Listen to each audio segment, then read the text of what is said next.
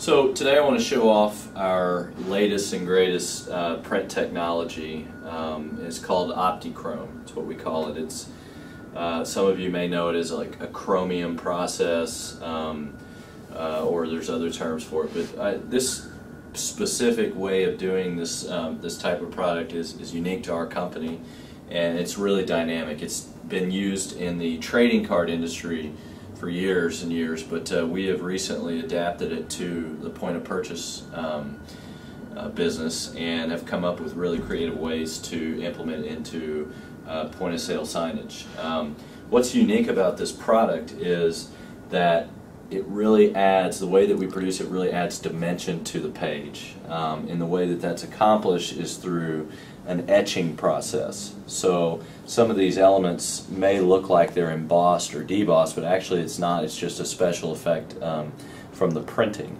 Uh, the other dynamic part of this is that it incorporates metallic, um, a metallic substrate that gives it the real nice glare pop uh, and also adds to the etching dimension. Um, so you'll see here in, in around the bottle you've got some etching. Um, in the the detail of the label we've got some more etching. In the background we've got a little bit of texturing uh, around the the logo. There's etching. And, and that etching really it, it's multifaceted. It can really add definition to a logo.